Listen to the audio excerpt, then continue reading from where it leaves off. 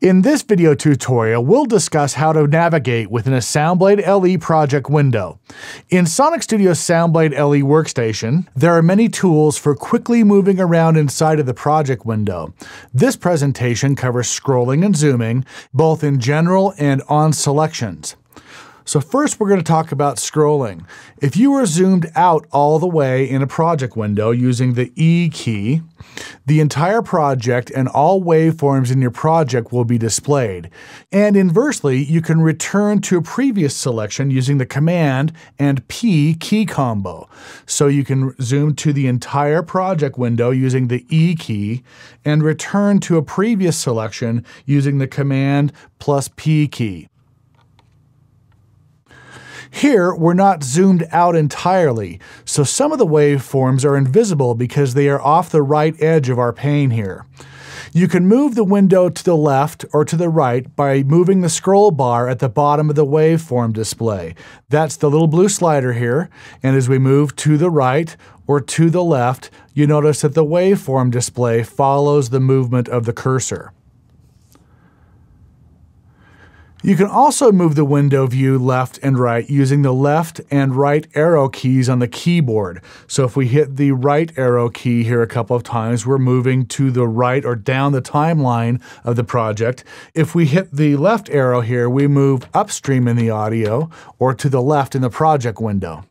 Finally, you can drag the entire view of the waveforms to the left or to the right manually by simultaneously holding down the Control, Option, and Apple or Command key.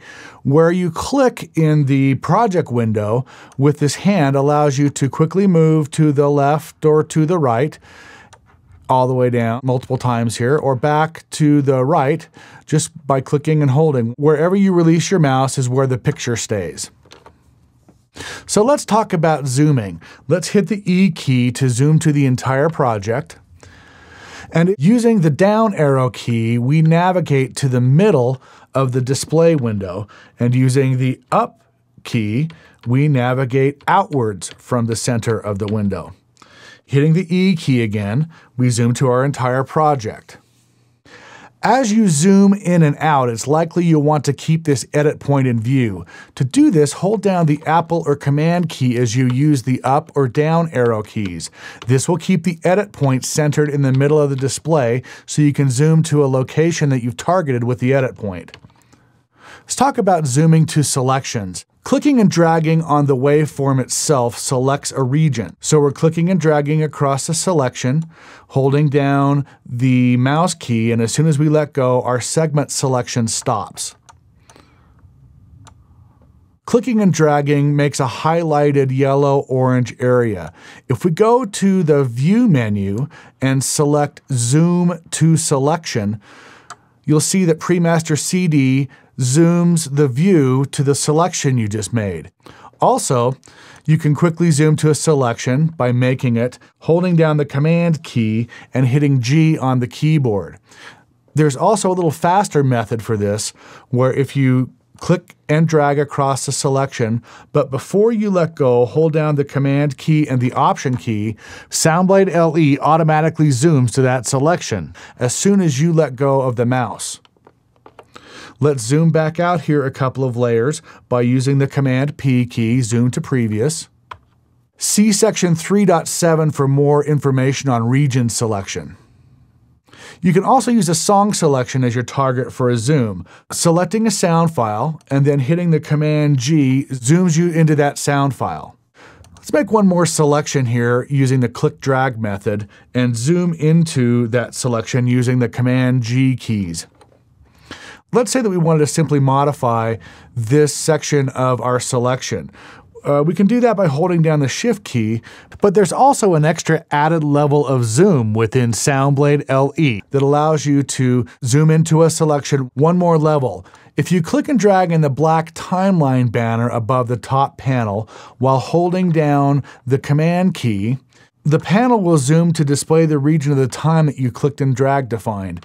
This is really useful if you need to just zoom into the beginning of a selection and modify it slightly. So now that we're zoomed in tight, we hold down the Shift key and we're allowed to move this in point here to a specific point in time. If we hit Command G to zoom to our selection, we can also use this sub zoom method by holding down the Command key, clicking and dragging across the end of this selection, and we can quickly modify the end of this selection by holding down the Shift key and bringing it to a specific point in time without disturbing the edit points in between it. So let's review what we've discussed in this presentation. How to scroll to the left and right in a SoundBlade LE project using the scroll bar, left and right arrow keys, plus the hand command. More on scrolling can be found in section 3.2 and 3.6 of the SoundBlade LE user manual. How to zoom using the up and down arrow keys, using the E key to zoom to the entire project, zooming around an edit point, zooming to a selection, and zooming to a time selection. More on zooming can be found in section 3.6 of the SoundBlade LE user manual. If any questions arise about how to use Sonic Studio's SoundBlade LE product, please feel free to contact us at support at sonicstudio.com. You can also visit our website at www.sonicstudio.com.